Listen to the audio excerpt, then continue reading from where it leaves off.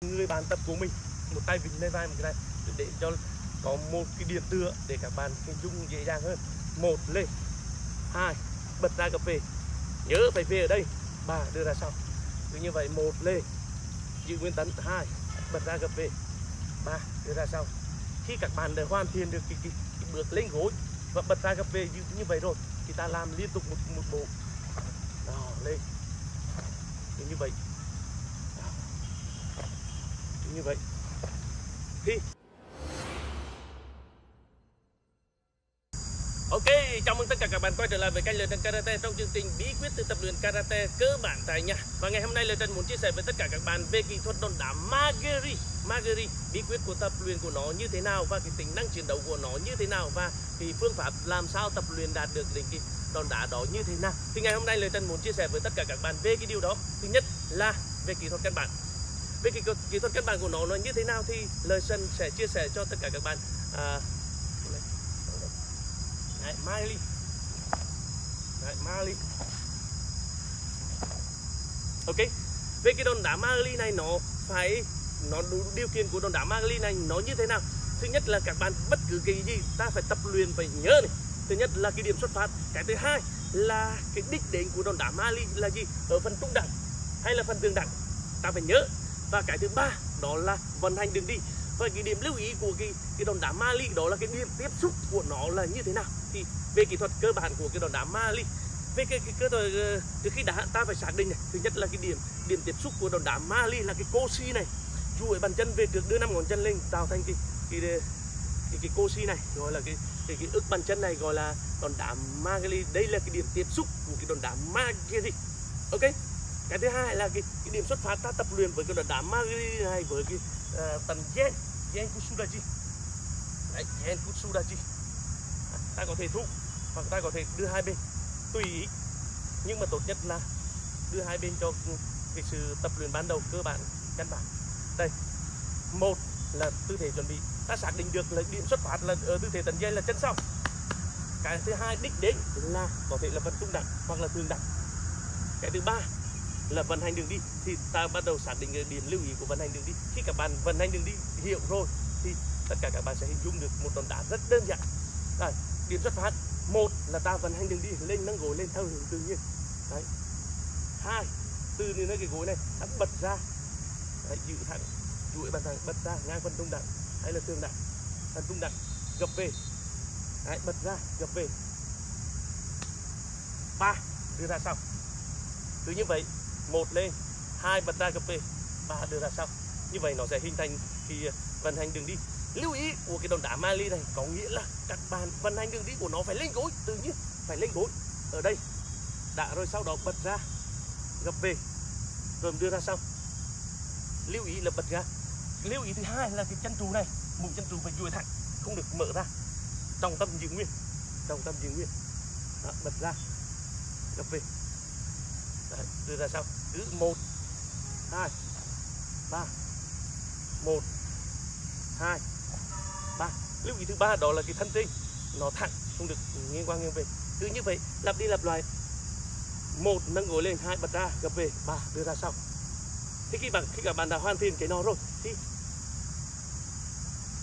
thì nó nó phải phải làm liên tục thôi. Cứ vận hành đường đi đó.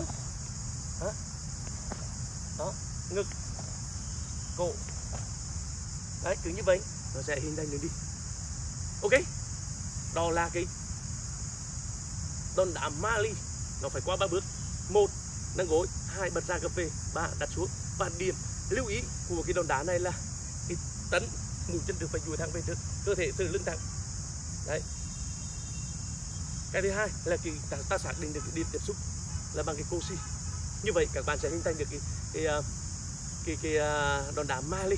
Ok rồi nào đến phần thứ hai đó là cái tính năng chiến đấu của đòn đá Mali này thì nó rất là chi là tuyệt vời. Bởi vì rằng khi tất cả các đòn đá hoặc đòn đấm hoặc bất cứ cái gì thì đòn dùng trong cái trường hợp là tấn công. Ồ, đầu tiên là ta dùng trong trường hợp tấn công. Đúng lên à, giống như một tính năng chiến đấu thì cái vùng nào có thể đá đòn được ra thẳng thì chỉ có vùng trung đẳng này. Một và nơi cầm thì chủ động có nghĩa đứng tại trung động tấn công đứng trong cái một cái khoảng cách phù hợp thời điểm phù hợp khoảng cách phù hợp chúng ta tấn công thôi mà ly đó vào trung đạn, đó. vào trung đẳng có thể vào thường đẳng thì ở đây vào cầm là hiệu quả. Còn ở đây nó sẽ bị trượt bởi vì có một cái đồ chui của cái đòn đá cho nên bị trượt. Đấy. Đây cầm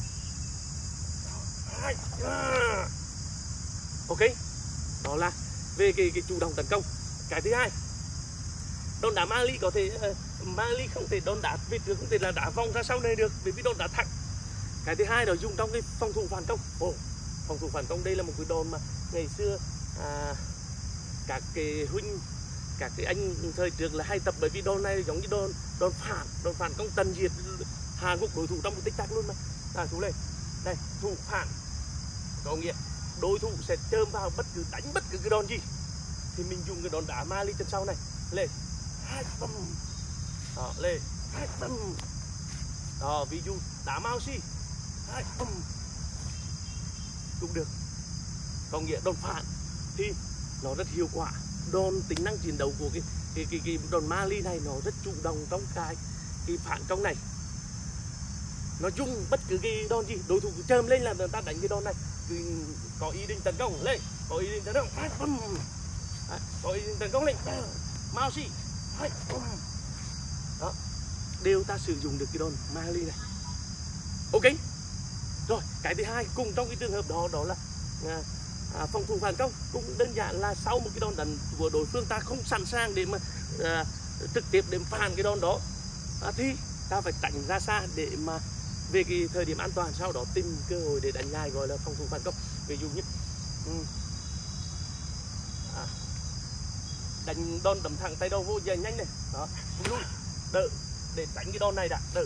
Đấy, sau đó lên. Đó. Đấy có thể lên. Um, um. ok. Tại sao cũng vậy. Lên. Um, um. đó. Lên. Nhanh. Um, um. ok. Đó là đòn Mali hoặc đòn này ứng dụng vào trong cái tình huống à, ngoài đời cũng vậy. Lên đấm vòng lên đấm vòng lên lên đấm vòng. Âm âm âm cũng được. Mawashi Mawashi. Lên Mali. Ok đã phải đã chính xác vô dựa để người ta được tránh được. À, đó là à, đó là cái cái tính năng chiến đấu của cái đòn Mali này. Ok, và cái phương pháp tập luyện. Cái phần thứ ba đó là cái phương pháp tập luyện để làm sao có được cái đòn đá đó. Thứ nhất, các bạn phải tập luyện căn bản tại chỗ cho nó hoàn thiện bằng cái phương pháp gì? Bằng nhiều cái phương pháp. Trong đó có cái phương pháp đó là gì? Ta đứng tại chỗ tập luyện.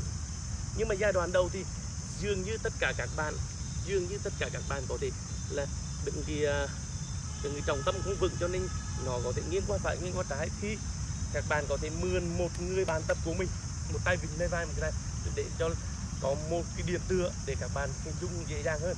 Một lên. Hai bật ra gặp về nhớ phải về ở đây. Ba đưa ra sau. Cứ như vậy một lên.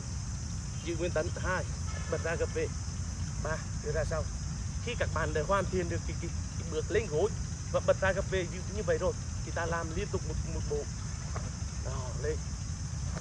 Thì như vậy. Đó. như vậy. Khi sau khi các bạn hình thành nó rồi. Đấy, hình thành ở đây bàn có thể là một người bàn tập của mình. Hoặc là ở đây một cái bức tường. Ta vình vào bức tường này để làm làm chủ được cái trọng tâm. Cứ như vậy. Cho làm chủ được trọng tâm. Khi làm chủ được trọng tâm rồi thì ta sẽ tập luyện đơn giản hơn với bên ờ, ngoài tự nhiên này.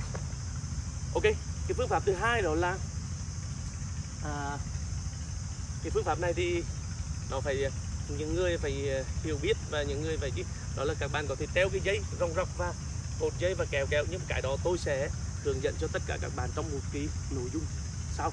Ok. Nhớ đăng ký và theo dõi những nội dung của lời Trần Karate để lời Trần muốn chia sẻ với tất cả các bạn về cái bí quyết từ tập luyện karate tại nhà về phần căn bản, ok? Cảm ơn tất cả các bạn và nhớ đăng ký kênh.